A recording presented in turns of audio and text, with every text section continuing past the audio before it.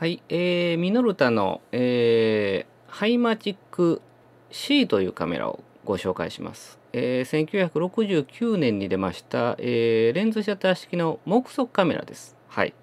えー、ですから二重画像を合致する必要はありません。えー、目測で距離を設定するタイプの、えー、カメラというふうになります。えー、まずこのカメラのセッティングですね。えー、この正面に緑のボタン、エメラルドグリーンの非常に綺麗なボタンがありますけれども、えー、これを押していただくことになります。はい。えー、押しだここのように、えー、ポップアップで共通が出てきます。えー、そのための、えー、これはボタンなんですね。持ち運ぶ際、えー、どうしても邪魔になってくるこのあのレンズの入ってる共通の部分ですね。これを収納させるために、えー、このボタンがあるんですね。それがあの中にバネが入ってできるようになっているんですね。ですから収納の時押していただくとこのように押して、また共通を押していただくとこのように収納できるんですね。はい。使う時はまたこのように押していただければポンと出ますので、えー、ちょっと引っかかり出た時に、えー、バネで、えー、出し入れしてるだけなので、えー、間違いのないようにちょっとこう確認していただければいいというふうに思います。はい。で、えー、このカメラ電池を使います。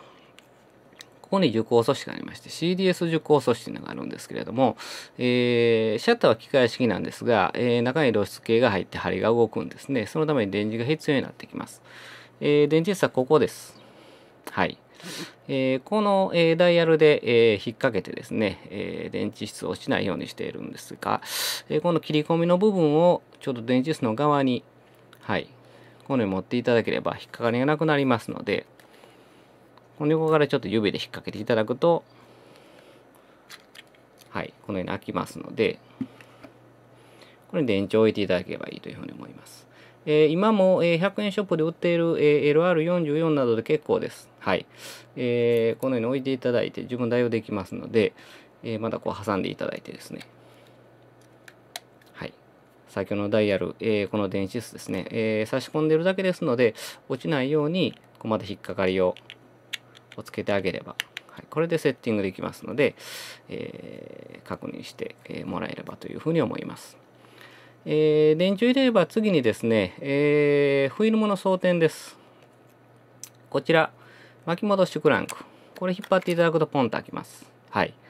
えー、35mm フルサイズです。フィルムを装填してもらって、もうあとは普通に、えー、2回ほど空巻きしていただいて、セッティング、えー、していただければというふうに思います。えー、横にこのようなものがついていますが、えー、大体こういうもの、えー、上や下にピンがあるんですが、えー、そういうものはありません。えーポえー、このはい、巻き戻しクランクを引っ張っていただく形になりますので、えー、そのようにフィルムを出し入れしていただければというふうに思います。えー、次に、えー、フィルムカードの設定ですね、えー、この正面になります。はい。えー、2つ、えー、別々のものではありません。中でピンはつながっています。えー、衛星アーサというこの日本のこうクイーンムカンドの表示と、えー、海外のこの DIN 表示ですね、えー、これが一緒になされているということですね。だから設定する際に何も2つ触ることなく、えー、どちらからも結構です。えー、このピン、このように、はい、押していただければ動きますので、装填したフィルムの感度に設定していただければ、はい、それで OK です。はい。で、えー、次に露出の設定です。えー、この先頭のダイヤル、お天気マークと曇りのマークがありますね。目で見て判断していただいて、これで設定していただくだけです。はい。非常に簡単ですね。えー、ファミリーカメラとして、えー、そのような仕組みになっています。はい。で、えー、これが露出の設定ですから、え、これを設定していただいたら次に距離の設定。これ一番奥の銀色のところにイラストがありますね。え、つまみはここです。ですから、こう、カメラを構えていただいて、この白い起点にこのように、はい、回していただくと距離が設定できます。だいたい、えー、胸から上、えー、人3人で、えー、お父さんとお母さんの子供でしょうか、えー、だんだん背が低くなっていくそういうレースになっていますね。で山形マークと。えー、ファインダーから覗いた感じをここで、えー、見ていただければ、えー、それでよろしいというふうに思います。え具体的な距離、それはこちらに示されています。はい。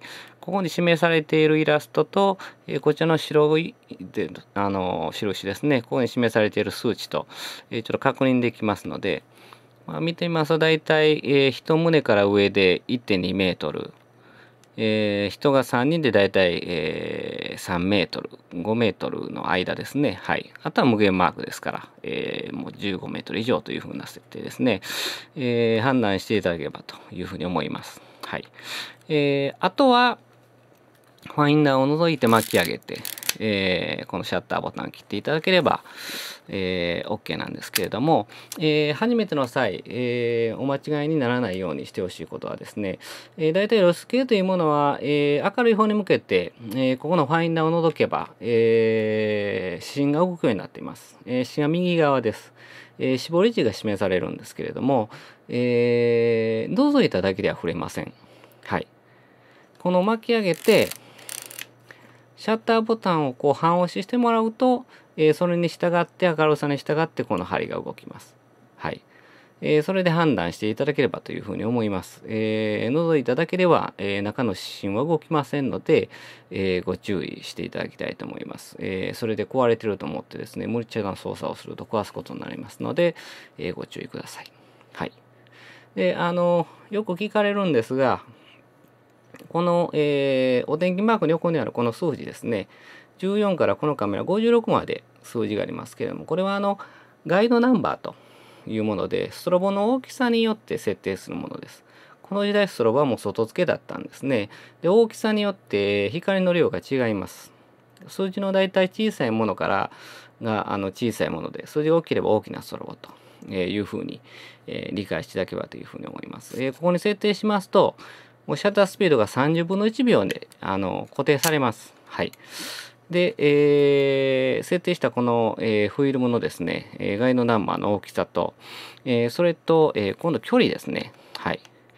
距離に従って、えー、絞り値が自動的に決まるんですね。あの、決めてくれるわけですね。フラッシュマッチックのようなものが効くわけです。この裏の表を見ていただければ、えー、ちょっとご理解して、えー、いただければ、あの、いただけるんじゃないかなというふうに思いますね。Easy Flash Working Range というふうに、え、書いてますね。ガイドナンバーが14の、えー、スロボでしたら0.9から5メートル。えー、ガイドナンバーが、えー、20のストロボでしたら0.9から、えー、7.4メートル。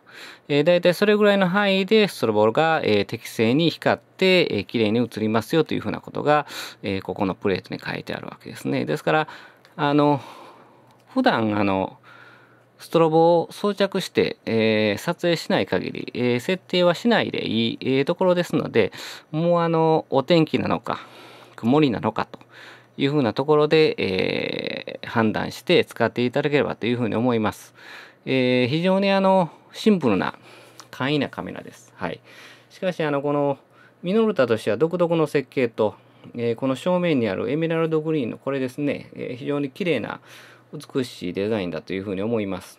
だからあのトイカメラとして、えー、今後も、えー、35mm の、えー、フィルムがある限り使っていただければ、えー、嬉しいなというふうに思います。えー、レンズは、えー、ミノルタの、えー、ですね、ロッコール 40mm の、えー、開放値 F2.7 という、えー、非常に珍しいレンズがついています。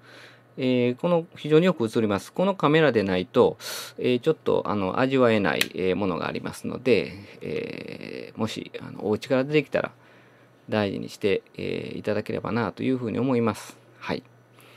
えー、ミノルタの、えー、ハイマチック C でした。以上です。